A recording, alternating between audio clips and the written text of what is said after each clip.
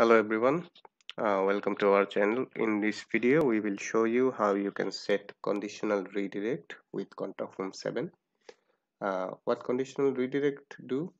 Uh, it's basically uh, based on conditions your user can be redirected to one page or another. And it can be done using the pro version of our plugin ultimate add-ons for contact form 7 the link of the pro version is provided on the description. And how to install our plugins we already covered on our previous video so we will skip that part.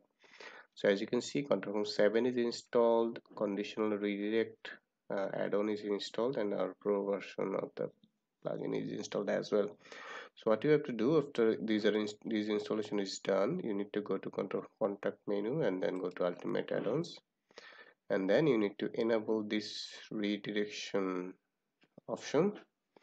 And then let's create a form. So let's name it conditional redirect. Okay let's stay with whatever it is. Now on the ultimate redirect part you need to enable redirection. And then you need to enable conditional redirect and you can set this like whether whether the uh, page will open on a new tab or not.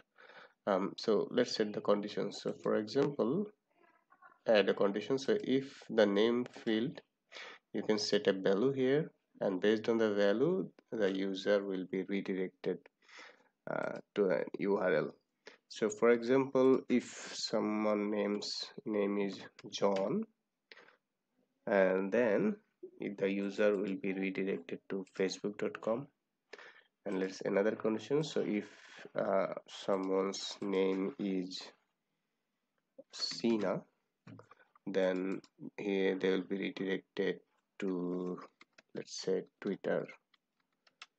Sorry twitter.com now let's save this.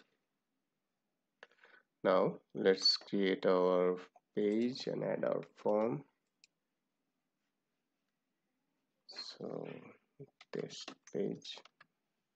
Now let's publish. Now let's view the page. So as you as we said so let's say someone's name is John. And this is the email. So if I submit so as you see the user now is redirected to Facebook now let's go back. Let's set Sina and let's submit. Now there we go. So we go now I'm going to twitter.com and what if we just write John Cena so now nothing will happen. As you see just normal default contact form 7 message so this is basically the feature of um, this conditional redirect. You can set conditions with any field or in any way you want. Everything is available here. For example uh, if you may set a drop down menu with an yes and no and if we save so all you have to do is select this menu field and you can set the value to yes. And then you can select this menu field and set the value to no and add your specific url here. And based on these um, the conditions uh, the user will be redirected. So that's basically it of conditional redirect. If you have any questions let me know in the comments. Thank you